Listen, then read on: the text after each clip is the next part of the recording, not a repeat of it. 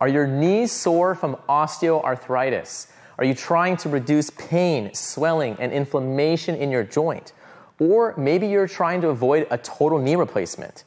Well, if so, then you may be interested to learn about this special ingredient that's been shown by many studies to reduce knee pain and improve physical function for people that have knee osteoarthritis. This is not a drug, and it's been shown to have fewer side effects than many of the common prescription anti inflammatories. Hi, I'm Marc Robinson. I'm a physical therapist, and I help people recover from injuries like knee osteoarthritis, meniscus tears, or total joint replacements. And I started a turmeric company because there were many turmeric products out there that didn't contain enough curcuminoids. The curcuminoids are the special ingredient that is inside the turmeric plant.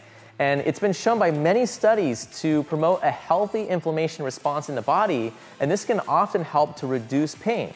There was a large 2021 study that just came out, and this analyzed 10 different studies. And it showed that curcumin, the active ingredient uh, in the turmeric plant, actually reduced knee pain and improved physical function for people that have knee osteoarthritis. The results of this study provide a compelling argument to use curcumin supplementation to reduce knee pain.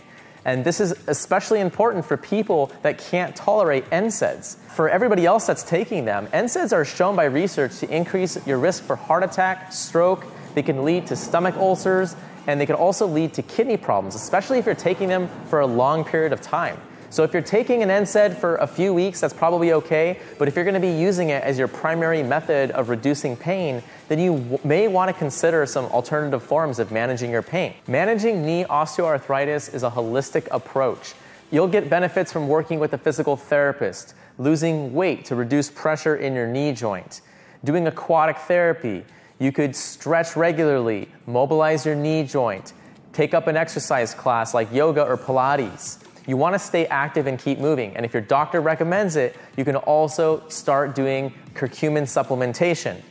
If you want a good curcumin supplement, we provide a great option with Active Atoms. My company provides what we believe has the highest concentration of curcumin in one capsule. You're going to get 712.5 milligrams of curcuminoids.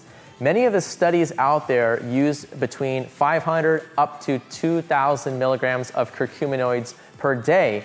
And the people usually took this for between one and two months. So if you are looking for a good curcumin supplement and you want to learn more information, then head over to activeatoms.com. You could also click the link in our bio below um, so you can get a link to our recommended article in our Learning Center. Thanks for watching this video. I hope your knee stays strong and healthy.